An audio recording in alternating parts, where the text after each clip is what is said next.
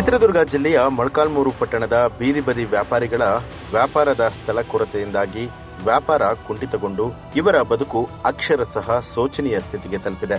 ಈ ಹಿಂದೆ ಪಟ್ಟಣದ ಖಾಸಗಿ ಬಸ್ ನಿಲ್ದಾಣದಲ್ಲಿ ಬೀದಿ ಬದಿ ವ್ಯಾಪಾರಿಗಳು ವ್ಯಾಪಾರಕ್ಕಾಗಿ ತಮ್ಮದೇ ಆದ ರೀತಿಯಲ್ಲಿ ಟೆಂಟ್ಗಳನ್ನು ಹಾಕೊಂಡು ವ್ಯಾಪಾರ ವಹಿವಾಟುಗಳನ್ನು ನಡೆಸ್ತಾ ಇದ್ರು. ಆದರೆ ಅವರ ಅಜಾಗರೂಕತೆಯಿಂದಾಗಿ ಬಸ್ ನಿಲ್ದಾಣದಲ್ಲಿ ಸ್ವಚ್ಛತೆ ಮರೀಚಿಕೆಯಾಗಿ ಪ್ರಯಾಣಿಕರಿಗೆ ಹಾಗೂ ಸಾರ್ವಜನಿಕರಿಗೆ ತುಂಬಾ ಕಿರಿಕಿರಿ ಉಂಟಾಗಿತ್ತು.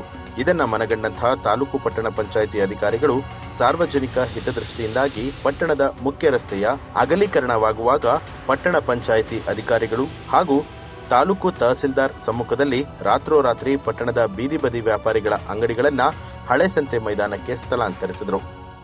ವ್ಯಾಪಾರಿಗಳ ಎಲ್ಲರ ಕಷ್ಟ ನಾವೆಲ್ಲ ಅರಿತಿದ್ದು. ಸುಮಾರು ವರ್ಷಗಳಿಂದ ರಸ್ತೆ ಬದಿಯಲ್ಲಿ ವ್ಯಾಪಾರ ಮಾಡ್ತಾ ಬಂದಿದ್ದೀವಿ. ಈಗ ತಾತ್ಕಾಲಿಕವಾಗಿ ವ್ಯಾಪಾರ ಇಲ್ಲದ ಸ್ಥಳದಲ್ಲಿ ಎಲ್ಲರೂ ತಂದು ಸಂತೆ ಬಜಾರಲ್ಲಿ ಹಾಕಿದ್ದಾರೆ. ಈಗ ಭಾಳ ಕಷ್ಟ ಅನುಭವಿಸ್ತಾ ಇದ್ದೀವಿ.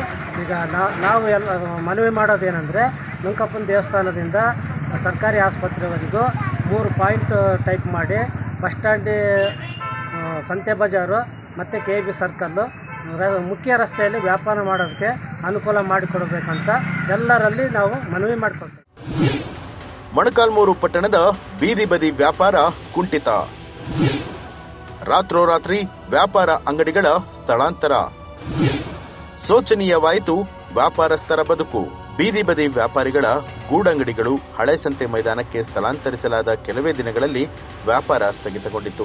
ಇದೇ ಕಾರಣ ಬೀದಿ ಬದಿ ವ್ಯಾಪಾರಿಗಳ ಗೂಡಂಗಡಿಗಳು ಒಂದೇ ಸಮಚ್ಚಯದಲ್ಲಿದ್ದು ಗ್ರಾಹಕರು ಮೊದಲು ಇರುವಂತಹ ಅಂಗಡಿಗಳಿಗೆ ಹೋಗಿ ವ್ಯಾಪಾರವನ್ನ ಮಾಡುತ್ತಿದ್ದಾರೆ ಉಳಿದ ಅಂಗಡಿಗಳಲ್ಲಿ ವ್ಯಾಪಾರ ವಹಿವಾಟು ಕುಂಠಿತಗೊಂಡಿತ್ತು.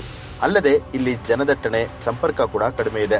ಪ್ರಸ್ತುತ ಖಾಸಗಿ ಬಸ್ ನಿಲ್ದಾಣಕ್ಕೂ ಹಾಗೂ ಬೀದಿ ಬದಿ ವ್ಯಾಪಾರಿಗಳ ಹಳೆ ಸಂತೆ ಮೈದಾನಕ್ಕೂ ಅಂತರ ಹೆಚ್ಚಾಗಿದೆ. ಪಟ್ಟಣಕ್ಕೆ ಬಂದು ಹೋಗುವಂತಹ ಬಸ್ ಪ್ರಯಾಣಿಕರಿಗೆ ಹಳೆ ಸಂತೆ ಮೈದಾನಕ್ಕೆ ಹೋಗಿ ಊಟ ಮಾಡಿ ತೆರಳುವಷ್ಟು ಸಮಯ ಮತ್ತು ಸಂಯಮ ತುಂಬಾ ಕಡಿಮೆ. ಜೊತೆಗೆ ಪಟ್ಟಣಕ್ಕೆ ಪ್ರಯಾಣಿಸುವಂತಹ ಹೊಸ ಪ್ರಯಾಣಿಕರಿಗೆ ಹಳೆ ಸಂತೆ ಮೈದಾನದ ವಿಳಾಸವು ಗೊತ್ತಿರದ ಕಾರಣ ಬೀದಿ ಬದಿ ವ್ಯಾಪಾರಿಗಳ ವ್ಯಾಪಾರ ಕುಂಠಿತಗೊಳ್ಳೋದಕ್ಕೆ ಇದು ಕೂಡ ಒಂದು ಪ್ರಮುಖ ಕಾರಣ ಆಗಿದೆ. ಸರ್, ನಾವು ಬದಿ ಬೀದಿ ಬದಿಯಲ್ಲಿ ವ್ಯಾಪಾರ ಮಾಡ್ತಾ ಇದ್ದೀವಿ ಬಸ್ ಸ್ಟ್ಯಾಂಡಲ್ಲಿ ಎಷ್ಟು ದಿವಸ. ನಮ್ಮನ್ನು ಏಕಾಏಕಿ ಸಂತೆ ಹಳೆ ಸಂತೆ ಮೈದಾನದಲ್ಲಿ ಹಾಕಿದ್ದಾರೆ. ಎರಡು ತಿಂಗಳಿಂದ ನಾವು ಇವತ್ತಾಗುತ್ತೆ ನಾಳೆ ಆಗುತ್ತೆ ಅಂತ ವ್ಯಾಪಾರ ನಾವು ಕೂಡ ಕಾದು ರೋಸಿ ಹೋಗಿದ್ದೀವಿ. ಎಲ್ಲ ತಗೊಂಡು ಬಂದಿರೋ ಮಾಲೆಲ್ಲ ನಾವು ಮಾಡಿರೋ ವ್ಯಾಪಾರನೆಲ್ಲ ದಿನ ನಷ್ಟ ಆಗ್ತೈತೆ. ಮನೇಲಿ ಸಂಸಾರ ನಡೆಸೋಕೆ ಕಷ್ಟ ಆಗ್ತೈತೆ. ಮಕ್ಕಳು ಫೀಸ್ ಕಟ್ಟೋಕ್ಕಾಗ್ತಾ ಇಲ್ಲ. ಟ್ಯೂಷನ್ಗೆ ಫೀಸ್ ಇಲ್ಲದೆ ಮನೆಗೆ ವಾಪಸ್ ಕಳಿಸ್ತಾ ಇದೆ ಟ್ಯೂಷನ್ ಅದೆಲ್ಲ. ನಮಗೆ ಏನು ಸಮಸ್ಯೆ ಆಗಿದೆ. ಹೀಗಾಗಿ ನಮಗೆ ಪುಟ್ಬ ಇದು ಮೇನ್ ರೋಡಲ್ಲಿ ನುಗ್ಗಪ್ಪಕಟ್ಟೆಯಿಂದ ಸರ್ಕಾರಿ ಆಸ್ಪತ್ರೆಗಳು ಸೈಡಾಗಿ ಒಂದು ವ್ಯಾಪಾರ ಮಾಡೋಕ್ಕೆ ಅನುಕೂಲ ಮಾಡಿಕೊಡ್ಬೇಕಾಗಿ ತಮ್ಮಲ್ಲಿ ಕೇಳ್ಕೊಳ್ತೀವಿ ಕಣ್ಣೀರಲ್ಲಿ ಕೈ ತೊಳೆಯುತ್ತಿರುವ ಬೀದಿ ಬದಿ ವ್ಯಾಪಾರಿಗಳು. ವ್ಯಾಪಾರವನ್ನೇ ನಂಬಿಕೊಂಡು ಜೀವನ ನಡೆಸ್ತಾ ಇರುವಂತಹ ಬಡ ಕುಟುಂಬ. ಹಲವು ಸಮಸ್ಯೆಗಳಿಂದ ನಲುಗಿ ಹೋಗಿರುವಂತಹ ವ್ಯಾಪಾರಸ್ಥರು. ಬೀದಿ ಬದಿ ವ್ಯಾಪಾರಿಗಳ ವ್ಯಾಪಾರ ವಹಿವಾಟು ಕುಂಠಿತಗೊಂಡಿದೆ. ಈ ವ್ಯಾಪಾರವನ್ನೇ ನಂಬಿಕೊಂಡು ಜೀವನ ನಡೆಸ್ತಾ ಇರುವಂತಹ ಕುಟುಂಬಗಳ ಬದುಕಿನ ಬಂಡಿ ಎಳೆಯುವಂಥದ್ದು ತುಂಬಾನೇ ಕಷ್ಟವಾಗಿದೆ. ದಿನಸಿ ಬೆಲೆಗಳು ದಿನದಿಂದ ದಿನಕ್ಕೆ ಗಗನಕ್ಕೆ ಏರ್ತಾ ಇದ್ದು, ಬೀದಿ ಬದಿ ವ್ಯಾಪಾರದಲ್ಲಿ ದಿನದಿಂದ ದಿನಕ್ಕೆ ನಷ್ಟ ಹೆಚ್ಚಾಗ್ತಿದೆ.